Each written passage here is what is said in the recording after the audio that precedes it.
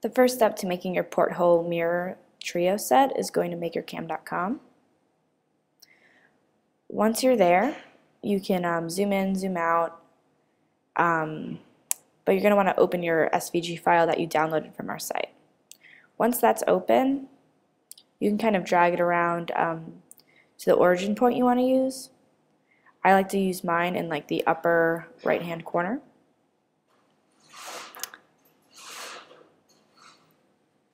You can zoom in once you get it all set up. Use this hand to move around. Use this cursor to highlight your um, toolpaths. So if this is too big for your Shapeoko setup, you can delete either the largest mirror frame or um, the two largest, or if you just want the large one, you can delete the middle ones. Um, but basically, you can cut them all in the one file if you do it correctly. So the way to do that is to first, we're gonna the first thing we're gonna want to cut is the keyholes. So highlight those and set them as a uh, pocket operation. Name it something that you'll remember.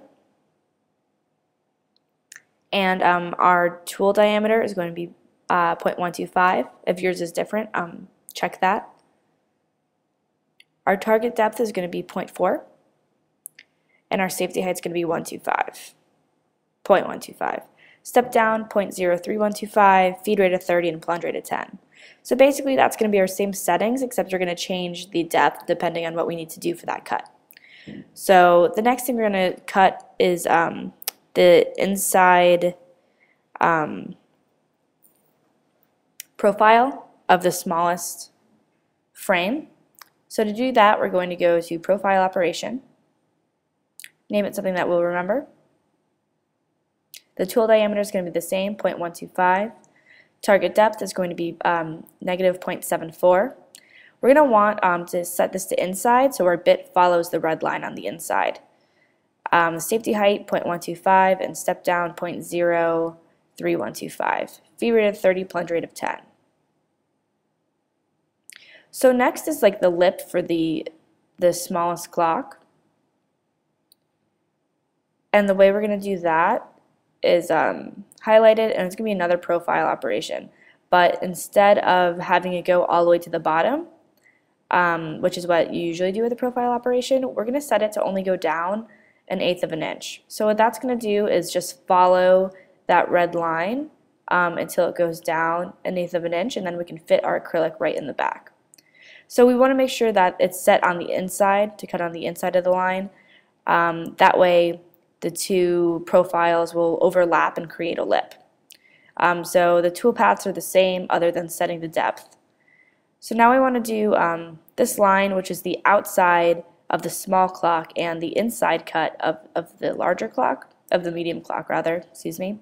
So um, again, it's profile cut. Name it something you'll remember. Tool diameter is the same. Our target depth on this is going to go all the way through the material, so negative 0.74. We want to keep it on the outside of the red line, so keep that at outside. Safety height is 0.125. Step down is the same, 0.03125. Feed rate of 30 and plunge rate of 10. So again, um, to make the lip, we're going to highlight that circle. And it's going to be a profile. Name it something that you'll remember. The tool diameter is going to be the same, um, and again, we're going to make the target depth negative 0.125 and have that go on the inside of that red line.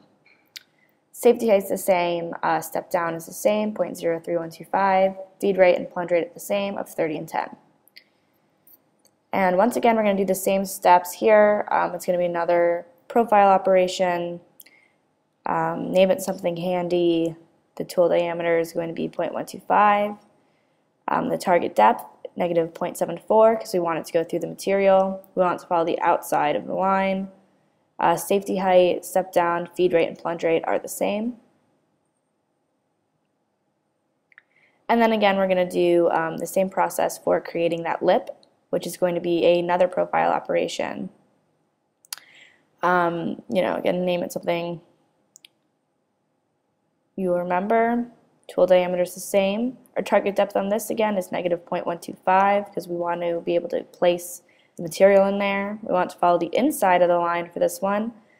Um, the step down uh, feed rate and plunge rate are all the same. So next we're going to cut out uh, the final tool path, the outside of our large clock. Um, and again, that's going to be the same steps as cutting a profile that goes completely through the material. Um, so name it something you remember. Tool diameter is going to be the same. Target depth, negative 0.74. Uh, we want to follow the outside of the line for this one. We want to have a safety height of a uh, 0.125 and our step down 0.03125, feed rate of 30, plunge rate of 10. So now you want to go to CAM and calculate all. So this is going to allow you to see your actual, like where the bit will travel. You can view your cuts to kind of make sure that there's not red line where it shouldn't be. Um, and now the next step is to add tabs. So we're going to want to add tabs to um, a couple certain places here.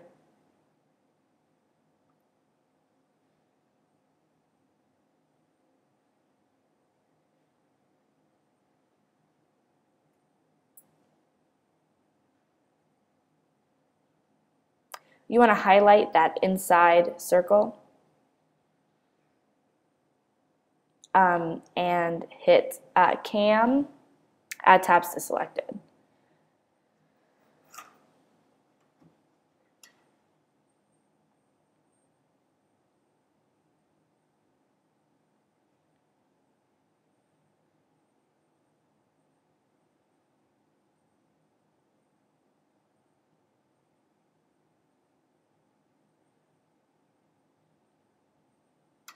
So if we put a tab every 3 inches, that's um, 0.25 by 0.25. That's what's going to come up.